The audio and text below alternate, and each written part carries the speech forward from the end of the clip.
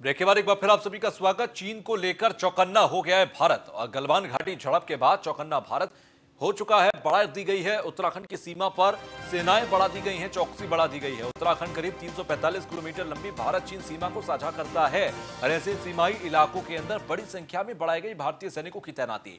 सेना सीमा पर अभ्यास करते हुए अपनी उपस्थिति दर्ज कराएगी। चीन कई बार बाड़ा होती और मानापास के पास घुसपैठ कर चुका है। चीन ने घुसपैठ के लिए कई बार हवाई मार्ग का भी सहारा लिया है। और ऐसे में उत्तराखंड की जो 345 लगभग किलोमीटर की चाइना और इंडिया के बॉर्डर है, उस पर लगातार भारत ने अपनी चौकसी बढ़ा दी है।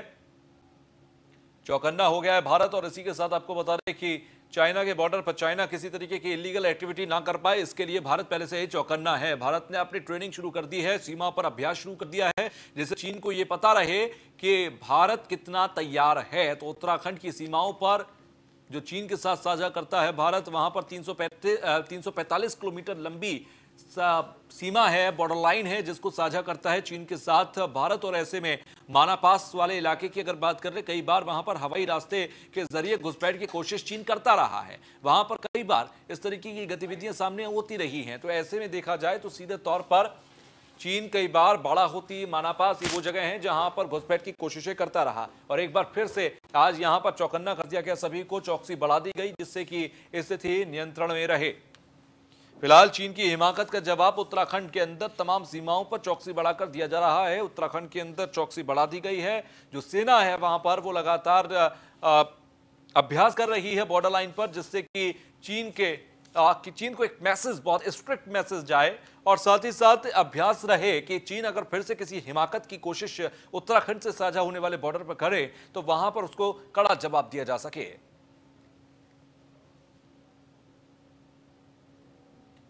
तो गलवान वैली में जो हुआ, उसका असर उत्तराखंड में भी दिखाई दे रहा है। उत्तराखंड के बॉर्डर्स पर चौकसी बढ़ा दी गई है। चीन को लेकर चौकन्ना हो चुका है भारत।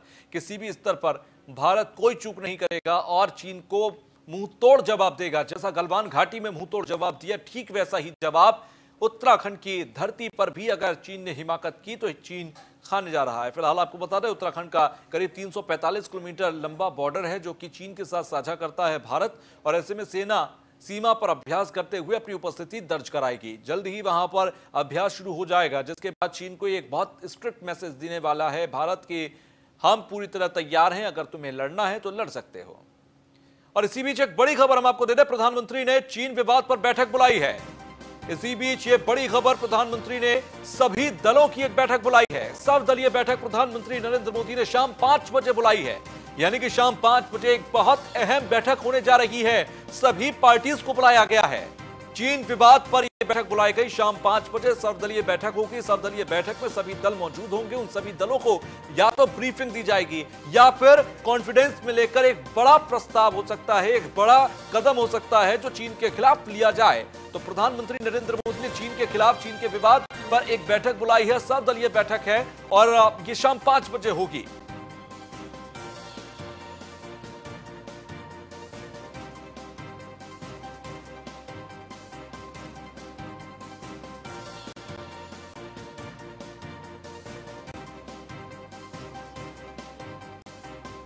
तो आपको बता दें कि ये जो बैठक का ज़िक्र है, एक और अपडेट है कि बैठक जो है वो 19 तारीख, यानी कि परसों, ये बैठक होगी शाम पाँच बजे। सर्वदलीय बैठक बुलाई गई है प्रधानमंत्री नरेंद्र मोदी के ज़रिए।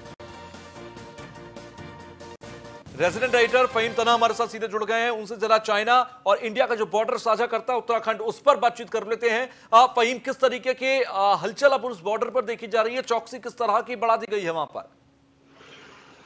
जी सर, देखिए इन बदली परिस्थितियों में जिस तरीके हालात हैं तो उत्तराखंड से जो चाइना का बॉर्डर मिलता है, वो बहुत महत्वपूर्ण हो जाता है, बहुत अहम हो जाता है और यूँ भी।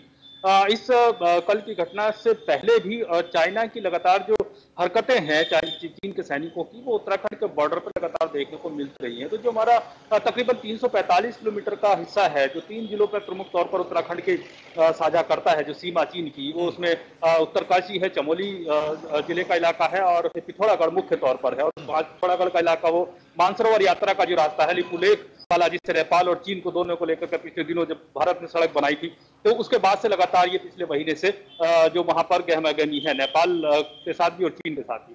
तो ये जो इलाका है, ये काफ़ी महत्वपूर्ण है और अगर हम इसमें बात कर लें तो जो घटनाक्रम तेज़ी के साथ बदला है जो टकराव हुआ, हिंसक टकराव हुआ, सैनिक शहीद हुए, इसके बाद में भी जो एक्टिविटीज़ है, सेना की गतिविधियाँ बढ़ाई जा रही हैं। जिस तरह की खबर है और जो सैनिकों का डिप्यूट उनको किया जा रहा है, संख्या बढ़ाई जा रही है और एक अभ्यास करने की कोशिश की जाएगी ताकि हम्म। जो अलर्टनेस है वो भी एक संकेत संदेश के तौर पर जाए तो जो हमारा बॉर्डर है जिसमें आईटीबीपी की चौकियाँ हैं और सेना के जवान हैं वो तीनों ही जिलों के जो सीमा क्षेत्र है इनमें बढ़ाया जा रहा है तुषार और जो जिसमें सबसे ज़्यादा महत्वपूर्ण अगर संवेदनशील क्षेत्र कहें तो वो जो चमोली ज़िले का आता है गढ़वाल क्षेत्र का इसमें पिछले अगर हम पिछले चार पाँच साल से देखते हैं तो चीन ने लगातार उसमें दुस्साहस किया है। बॉर्डर के क्षेत्र में 2015-14 में तो यहाँ तक था कि जो स्थानीय जो हमारा माड़ा पास और का जो इलाका है बाड़ा होती का जो इलाका है, वहाँ पर वो भारतीय सेना में प्रवेश करने तक का दुस्साहस किया। उनके चीनी सैनिक लगातार प्रवेश करते रहे और भारतीय सेना उनको खदेड़ती रही तो इस तरह की हरकतें लगातार होती रहती हैं और इन दिनों ये जिस तरह का माहौल है, उसको लेकर के काफ़ी चौकसी बढ़ती जा रही थी पिछले दिनों से ही। अब वहाँ पर एक्टिविटीज़ बढ़ गई हैं। इसमें वेस्टर्न कमांड सेना की और आईटीबीपी की चौकियाँ वहाँ पर डिप्यूट लोग कर दिया गया है। जो हमारे ट्रूप्स हैं जवान हैं और उनकी संख्या लगातार इसमें बढ़ाई जा रही है और पूरी तरीके से मुस्तैद कर दिया गया है और ये भी है कि जो बॉर्डर लाइन है उस बॉर्डर लाइन पर अभ्यास बढ़ाने जा रही है भारतीय सेना की जिससे कि दो संदेश जाए। एक तो आपकी ट्रेनिंग हो जाए जिससे कि किसी भी स्थिति से आप निपट सके और दूसरा ये है कि आप एक मैसेज दे सके कन्वे कर सके चाइना को कि देखो हम पूरी तरह से तैयार है चाहो तो आ जाओ। ये ये दो मैसेज महत्वपूर्ण शायद उस अभ्यास के बिल्कुल तो शायद देखिए, ये मैसेज कन्वे होना बहुत ज़रूरी है, चाइना को, कि भारत किसी भी उसकी हरकत का चुपचाप फ़ैन नहीं करने वाला है। एक तो किसी तरीके से भारत कमज़ोर नहीं है। भारत आज की स्थिति में जो आधुनिक भारत है, उसमें बहुत बदलाव है सन बासठ तिरसठ के बाद में। ये बहुत साफ़ तौर पर कहने की ज़रूरत है।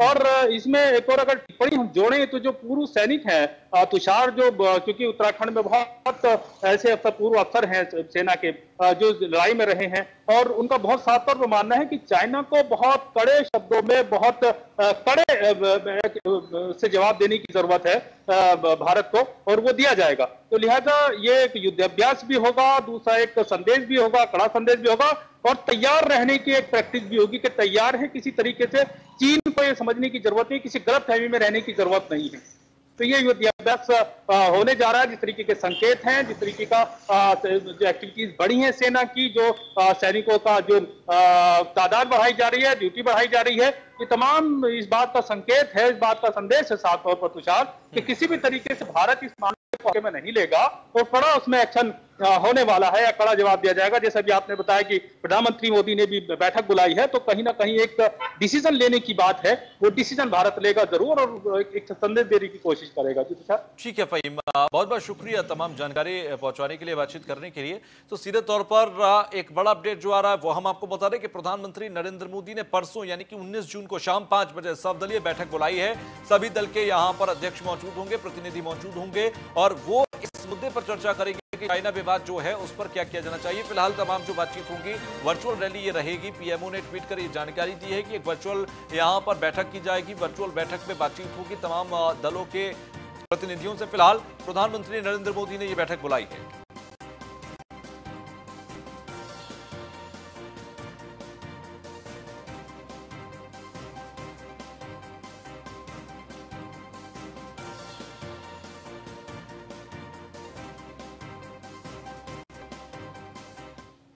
तो वहीं सीएससी का एंबुलेंस चालक को देहरादून में पॉजिटिव पाया गया है। आपको बता रहे, कोरोना पॉजिटिव पाया गया सीएससी प्रभारी समेत बत्तीस सेल्फ क्वारंटाइन हो गए हैं। हिंडोला खाल के चालक के पॉजिटिव मिलने से मेडिकल स्टाफ में हड़का मच गया। एहतियातन कोरोना संक्रमण की जाँच के लिए सैंपल श्रीनगर लैब भेजा था। देवप्रयाग ब्लॉक में कोरोना के तहत चार सौ एक लोगों की सैंपलिंग भी हो चुकी है। तो हिंडोला खाल के चालक के पॉजिटिव मिलने के बाद हड़कम बचा हुआ है। एहतियातन कोरोना संक्रमण की जाँच के लिए सैंपल भेजा गया। फ़िलहाल देवप्रयाग ब्लॉक में कोरोना के तहत 401 लोगों की सैंपलिंग हो चुकी है।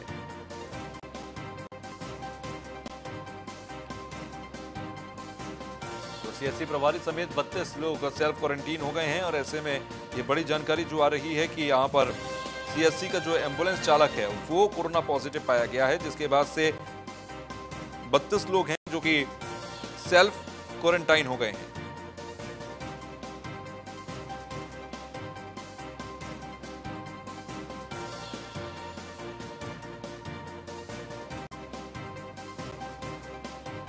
तो खाल के चालक के पॉजिटिव मेडिकल स्टाफ में हड़कम बच गया है।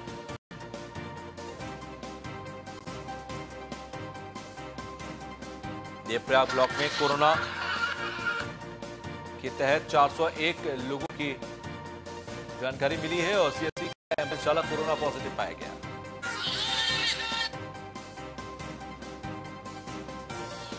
तो हिंडोला खाल के चालक के पॉजिटिव मिलने से मेडिकल स्टाफ फ़िलहाल हड़कंप में है और एहतियातन कोरोना संक्रमण की जाँच के लिए सैंपल श्रीनगर लैब भेजा था।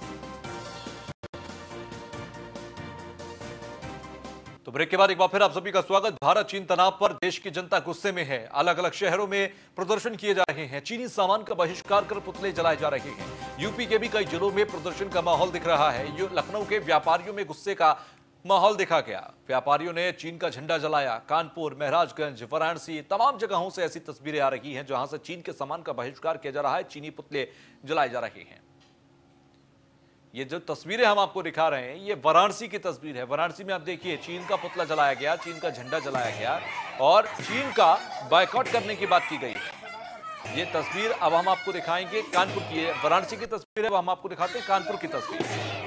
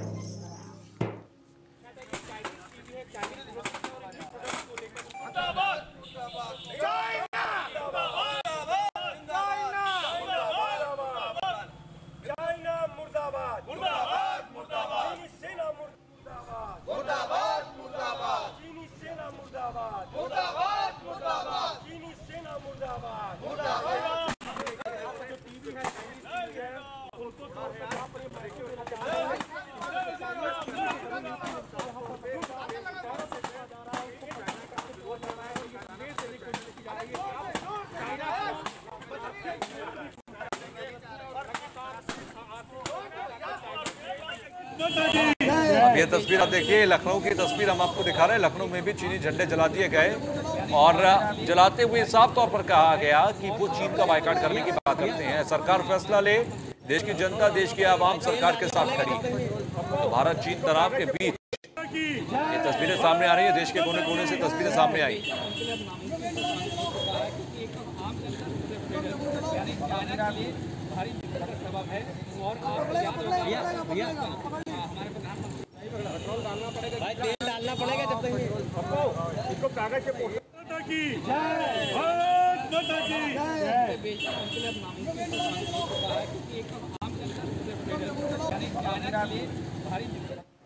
हमारे एलएसी को क्रॉस किया है। भारत की सीमा में आकर के वो हमारे 20 सैनिकों को उन्होंने शहीद किया है। और आज पूरे देश में इस बात के लिए आक्रोश है कि उन्होंने एलएसी को पार किया और बार बार उस तरह की हिमाकत करते हैं। लेकिन उसको याद रखना चाहिए कि उन्नीस सौ बासठ उन्नीस का भारत नहीं है, यह 2020 का भारत है। मोदी हमारे लीडर है और चीन को पूरा पक्का जवाब दिया जाएगा। और ज़रूरत पड़ेगी तो हर एक बच्चा भारत का सेना में भर्ती होने के लिए तैयार है। इस बार कोई भी चीन से पीछे हटने के लिए तैयार नहीं है। और घर की महिलाओं ने, भारत की महिलाओं ने ठाना है कि उनके शरीर पर, उनके किचन में, उनके घर में कोई भी चीनी सामान नहीं रहेगा और हम चीन के पूरे सामानों का पूरी तरह से बहिष्कार जगह बड़ा दुर्गम है। चारों तरफ़ बर्फ़ से ढका हुआ है, रास्ता नज़र नहीं आता है। लेकिन जो उन्नीस सौ बासठ की सिचुएशन था, उस समय और इस समय ज़मीन आसमान का फ़र्क हो गया। हमारे पास उस समय आधुनिक हथियार नहीं थे, उनके पास आधुनिक हथियार राइफलें थी। इस समय हमारे पास ऐसे ऐसे राइफल और ऐसे ऐसे आधुनिक हथियार हैं कि उनका हम मुँह तोड़ जवाब दे सकते हैं। हम इसमें पीछे नहीं हटेंगे। हम सरकार से निवेदन करेंगे, भारत सरकार से, प्रधानमंत्री से और रक्षा मंत्री से निवेदन करें कि इसका मुँह जवाब दिया जाए, जो हमारे जवानों ने वहाँ पर शहादत दी है। भारत सरकार से यह मांग करते हैं कि हमारे 20 जवानों के शहादत के बदले उनके 120 जवान जब तक मारे नहीं जाते तब तक हमारी इंडिया आर्मी को संतुष्टि नहीं मिलेगी और हमारे देश के नागरिकों को संतुष्टि नहीं मिलेगी। आज तक हम उन्नीस की बात करते आते हैं। उन्नीस में हमें, हमने और हमारे देश की इंडियन आर्मी ने उनको उस समय खदेड़ दिया था जब हमारे पास केवल लाठी होती थी। आज तो हमारे पास ऐसे आधुनिक आधुनिक हथियारे हैं कि हम अपने देश में बैठे हुए थे। चाइना को भी उड़ा सकते हैं। और जिस तरह से चाइना ने हमारे बीस जवा बीस सैनिकों को इस तरह से साहब जो घात लगाकर हमला किया है, हम पूरे समस्त देशवासी चाहते हैं कि माननीय प्रधानमंत्री नरेंद्र मोदी से, ताकि इसका बदला लिया जाए और चाइना में घुसकर उनके वहाँ पर हमारे भारत का झंडा गाड़ा जाए, ताकि चाइना कभी भी हमारे भारत के ऊपर नज़र उठाने की हिम्मत न कर सके। चाइना हो या पाकिस्तान, अब हमें किसी से डरने की ज़रूरत नहीं है। हम सक्षम हैं, हम भारतवासी कल की जो घटनाक्रम हुआ है, उससे हमारे अंदर इतना आक्रोश है कि हम कुछ भी करने के लिए तैयार हैं। अगर भारत सरकार की तरफ़ से हमारे लिए कोई भी ऑर्डर होगा, हम उसे फॉलो करेंगे। हम चीनी सरकार का कड़ी शब्दों में निंदा करते हैं। ना ही उसका कोई सामान खरीदेंगे और ना ही किसी को खरीदने देंगे। ने हमारे देश पर जो अटैक किया है, ये हमारे देश के लिए सम्मान में जो ठेस पहुंचाई है, उसके लिए हम लोगों को, सभी लोगों को, मैं सभी सर्व समाज, सर्व जो राजनीतिक पार्टी हैं, उनसे अपील करना चाहूँगा कि सभी एकजुट होकर इस लड़ाई में साथ दें और चीन को मुँह तोड़ के जवाब देना है। क्योंकि हर बार हम लोगों पे, हमारे देश पर, भारतवर्ष पर, हर बार इन लोगों ने अटैक किया है, नुकसान किया है। तो अब हमारा देश इतना कमज़ोर नहीं है। हमारी देश के जो सम्मानित जनता है, सभी लोग हैं, सभी लोग इस चीज़ के आक्रोशित हैं और सभी लोग बढ़ चढ़ के इस चीज़ में भाग लेने के लिए तैयार हैं। वे किसी हद तक जा सकते हैं। चीन ने जो भी किया है बहुत गलत किया है। और जैसे ही यहाँ चीन के द्वारा जो मतलब हमारे यहाँ सैनिक मारे गए हैं उसकी मैं कड़ी निंदा करता हूँ। और इसके लिए मेरे अंदर बहुत गुस्सा भी है। आज से ना तो मैं कोई चीन का सामान खरीदूँगा ना खरीदने दूँगा। सबको जो भी है सुझाव दूँगा कि कोई चीन का सामान ना खरीदे। मेरा नाम चेतन सिंह है। मैं इसके बारे में ये कहना चाहता हूँ पूरे देश से कि आज से हम ये संकल्प लें कि ना ही चीनियों को घुसने देंगे और ना ही चीनी सामान का उपयोग में लेके आएँगे। मैं बिल्कुल चीनी के खिलाफ हूँ और इस घटना की जो हालात बने हुए हैं, जिसके बाद जानकारी होती है कि हमारे जो देश के सैनिक हैं 20 सैनिक, वो शहीद हो चुके हैं, तमाम सैनिक घायल है। हालाँकि ऐसी खबरें भी आ रही हैं कि जो चीनी सैनिक थे, उन उन, वो काफ़ी बड़ी संख्या में घायल हुए हैं, जिनको लेने के लिए कल देर रात तक जो चीनी हेलीकॉप्टर हैं, वो सीमा पर मड़ाते रहे। हालाँकि उनकी जानकारी जो थी, वो भारतीय सेना को थी। निश्चित तौर पर देखा जाता है कि भारत एक बहुत बड़ा बाज़ार है जिसका फ़ायदा सीधे तौर पर चाइना उठाता है। लेकिन अब उत्तर प्रदेश और लखनऊ के व्यापारियों ने सोच लिया है कि चाइना को किसी भी तरह का फ़ायदा नहीं होने देंगे। निश्चित तौर पर आ, सीधे तस्वीरें आपको दिखा रही है सामने हैं। ये व्यापारी नेता हैं व्यापारी लोग हैं जो आ, चाइना का खुले तौर पर विरोध कर रहे हैं। साफ़ तौर पर कहना है कि चाइना हमसे फ़ायदा लेता है फिर हमारे ही सैनिकों पर प्रहार करता है। उनको मारने जैसी हरकतें करता है। निश्चित तौर पर उनका कहना है कि हर मोर्चे पर हम तैयार हैं। लड़ाई के लिए चाहे वो आर्थिक तौर पर हो चाहे वो किसी अन्य तौर पर हो अगर ज़रूरत पड़ी हमें तो हम सीमा पर जाएँगे और सीमा पर जा करके युद्ध करेंगे। निश्चित तौर पर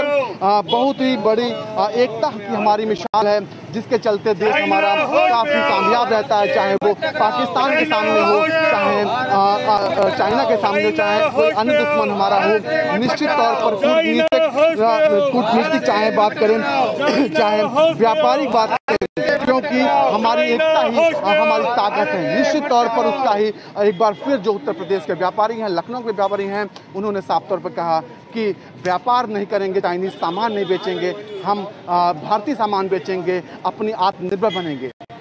लखनऊ से न्यूज़ इंडिया के लिए अश्वनी कुमार। देखिए, भारत के व्यापारियों ने अब तय कर लिया है कि पानी सर से ऊपर हो गया है। अब भारत के व्यापारी चाइना को चरणबद्ध तरीके से आर्थिक नुकसान पहुंचाएँगे। चाइना के माल को अब हम लोग नहीं बेचेंगे। चाइना के माल का जनता और व्यापारी मिल के बहिष्कार करेंगे। भारत से बहुत बड़ा व्यापार चाइना का होता है, लेकिन चाइना को अभी समझ नहीं आ रही है। अब जो हमारे कल सैनिक शहीद हुए हैं इसके बाद से देश के बच्चे बच्चे का खून खौल उठा है। अब चाइना को किसी भी सूरत में बर्दाश्त नहीं किया जाएगा। चाइना को हम लोग आर्थिक नुकसान भी पहुंचाएँगे और साथ ही साथ आवश्यकता पड़ी तो देश का एक एक नागरिक जा करके युद्ध करेगा। अब समय बदल गया है। चाइना के होश अब ठिकाने लगाने का समय आ गया। देखिए, निश्चित तौर पे आम जनता को इसमें बढ़ चढ़ कर सहयोग करना चाहिए और चाइना का जितना भी सामान है, उसका बहिष्कार करना चाहिए। इसके साथ एक बात ये भी हम कहना चाहेंगे कि आम जनता के साथ साथ सरकार जो लगातार चाइना को बड़े बड़े टेंडर दे रही है, चाहे वो अभी हाल ही में जो टनल बनाने का टेंडर दिया इसके अलावा और बहुत सारे टेंडर जो चाइना को दे रही है जिसमें करोड़ों अरबों रुपए का फ़ायदा चाइना उठाता है और फिर उसी के बाद उसी से वो जो है शक्तिशाली बनता है और फिर वो हमारे ही जो नौजवानों पे हमला करता है हमारे देश को कमज़ोर करता है। तो निश्चित तौर पे जहाँ पे आम जनता को सख्त कदम उठाकर चाइना के सामानों का बहिष्कार करना चाहिए वहीं पे सरकार को भी सख्त कदम उठाते हुए चाइना से किसी भी तरीके तमाम तरीके के ताल्लुक ख़त्म करके स्वदेशी अपनाने की और, और जो अपने देश की जो कंपनियाँ उनको बड़े से बड़े टेंडर देने चाहिए। अब लड़ाई आर पार की होगी आज हमारे देश में चाइना के अड़तीस प्रतिशत प्रोडक्ट हमारे देश में चाइना के बिक रहे हैं और हमें ये तय करना है कि हमारा बच्चा दो सौ रुपये की रिमोट कार से नहीं खेलेगा, ढाई सौ रुपये की उससे निम्न स्तर की कार से खेलेगा, मगर दो सौ रुपये की चाइना की कार हम नहीं खरीदेंगे। लखनऊ का हर व्यापारी को जो चीन के द्वारा हरकत करी गई है, उसे उसका खून खौला हुआ है। और हम एक व्यापारी होने के नाते ये संकल्प लेते हैं कि हम चाइना को एक व्यापारिक तौर पर है, हम उसका बहिष्कार करेंगे और उसके हर सामान का बहिष्कार करेंगे और ये पूरी तरीके से कोशिश करेंगे कि हर व्यापारी उनके सामान का बहिष्कार करे और आर्थिक रूप से उसकी जो स्थिति इतनी सदृढ़ है, जो हमारे खिलाफ, भारत के खिलाफ वो उपयोग भी करता है, उसको कमज़ोर करें और उसके उस सबक सिखाएँ। कि अब हम लोगों ने तय कर लिया है, अब हम लोग कोई भी चीनी सामान नहीं बेचेंगे। और अभी तक ये हो रहा था कि बात करके मसले को सुलझाया जाएगा। लेकिन अब बात जो है सर से ऊपर उठ चुकी है। अब बात जो है, बात करके नहीं निपटा जाएगी। अब तो युद्ध ही करेंगे लखनऊ वाले और हमेशा तैयार हैं।